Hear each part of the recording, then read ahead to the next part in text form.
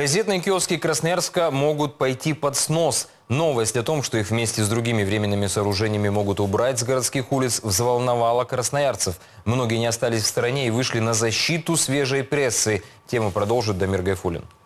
Че, где-то подписываться надо, да? Давайте я подпишу.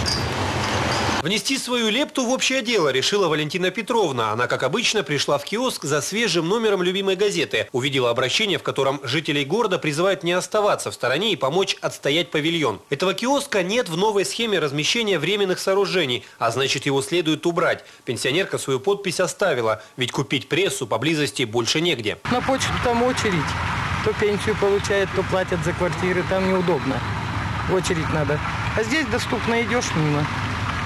Пожалуйста, все на виду, все, что хочешь, бери. Вот, это четверг, а так 2-3 газеты каждый день. Просто привык я с малых лет. Ну, будете писать обращение? А я уже подписал.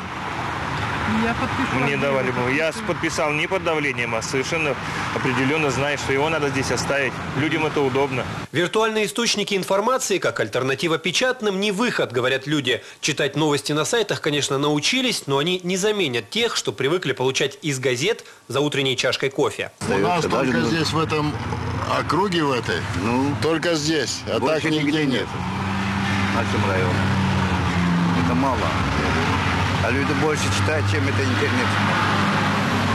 Интернет своеобразно, другое дело, а это газета другое дело. Призывы подключаться к кампании по сохранению павильонов появились лишь в двух точках распечатия – на Свободном и Тотмина. Именно по этим адресам Департамент градостроительства, по словам руководства розничной сети, отказался продлять договор аренды. Остальным же разрешили работать до 1 января следующего года. Если верить обращению, киоск на этом месте работает больше 40 лет, с 1968 года. И людям он, похоже, действительно нужен.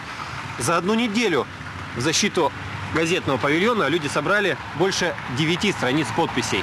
Как рассказали в Департаменте градостроительства, согласно утвержденной в декабре схеме временных сооружений, незаконно размещенными признали около тысячи точек. По закону, если владельцы не уберут павильоны самостоятельно, их могут снести по решению суда. Но что делать, если этот закон лишит многих горожан привычного комфорта? Разрешить этот конфликт должна специально созданная комиссия, специалисты которой в досудебном порядке будут решать вопросы по каждому спорному павильону. При условии, если их хозяева обратятся с претензией в Департамент градостроительства. Дамир Гайфулин, Марат Мухамедшин, седьмой канал, новости 24.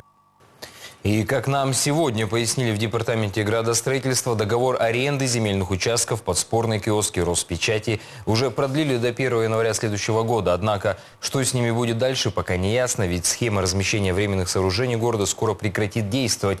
Чиновники поясняют, она пока несовершенна, поэтому ученым будет поручена разработка новой схемы, в которой также учтут такой параметр, как, например, обеспеченность районов торговыми площадями, то есть сколько на территории нужно газетных павильонов, фастфудов и ремонтных мастерских. Впоследствии земли под киоски будут продавать через аукционы. Места будут, как я говорил, определены. Э, Возможно, э, те места, которые, э, на которых сейчас размещены киоски Роспечати, они не попадут в ту схему. И придется, естественно, побороться за те места, которые представлены в схеме как раз в этом секторе, до 10 квадратных метров.